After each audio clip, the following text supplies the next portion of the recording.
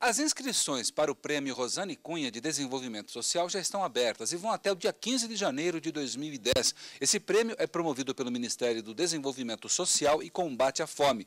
E é sobre isso que eu converso agora com Alexandre Pinto, que é coordenador-geral do Departamento de Avaliação e Monitoramento da Secretaria de Avaliação e Gestão da Informação do MDS. Qual o objetivo desse prêmio? Por que, que ele foi criado? Bom, o Prêmio Rosane Cunha ele tem o objetivo de dar visibilidade às ações integradas de promoção do desenvolvimento social e de combate à pobreza. A gente sabe que a questão do combate à pobreza, principalmente da promoção do desenvolvimento social, ela requer ações integradas de diversos setores das políticas públicas. E esse prêmio tem exatamente esse objetivo, de trazer essas práticas e dar visibilidade a essas práticas para que outros estados e outros municípios possam é, adequar suas políticas públicas e melhorá-las.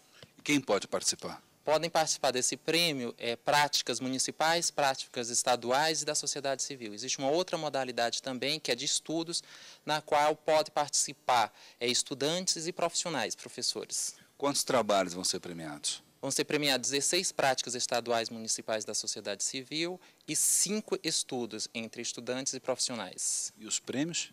Esses prêmios eles visam, a, como, a pró como o próprio prêmio diz, que é dar visibilidade e troca de experiência. Então vão ser oferecidos passagens nacionais e internacionais aos ganhadores para que eles possam aprimorar suas políticas e melhorar a qualidade dos serviços prestados. Quem quiser mais informações deve buscar aonde? Bom, o Ministério do Desenvolvimento Social criou um site específico para o prêmio, que é www.mds.gov.br barra Prêmio Rosane Cunha.